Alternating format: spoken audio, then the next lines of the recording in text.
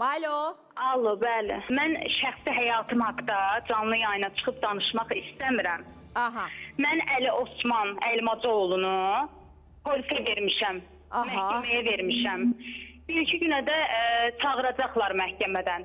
Mənim nəsə qorxum olsa, nəsə e, bir problemim, çəkinəcəyim bir şey olsa, mən polisə gedib Ə, Bircə dəqiqə üzr istəyirəm. Mehriban, nə ilə bağlı Əl Osmanı məhkəməyə vermisən canım mənim? Mən orada danışacağam hər şey. Bu adam səni döyüb.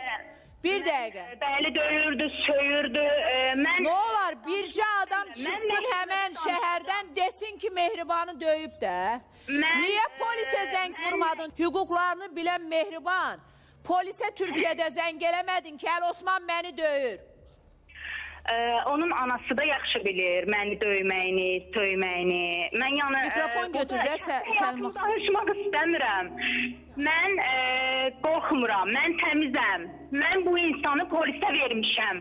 Aha. Bu Ali Osmanı biraz araşdırın. Bu Ankara'da görək nə işlərdən məşğul idi Ali Osman. Aa, Mən nə işlə? təmizəm. Nə işlər görürdü və kimlərdən qaçırdı bunlar ailədə? Mehriban, sən nə vaxt bildin ki, bu Ankarada pis işlərlə məşğuldur? Necə ki biz getdik uje gün almağa. e, mən, mənə uje e, ondan sonra hər şeyini açdı, danışdı bu insan. Oğlumun suçu olsa ben aklımı mı yitirdim televizyonda milyonların önüne çıkayım? Hem Azerbaycan halkının önüne hem Türkiye'nin önüne.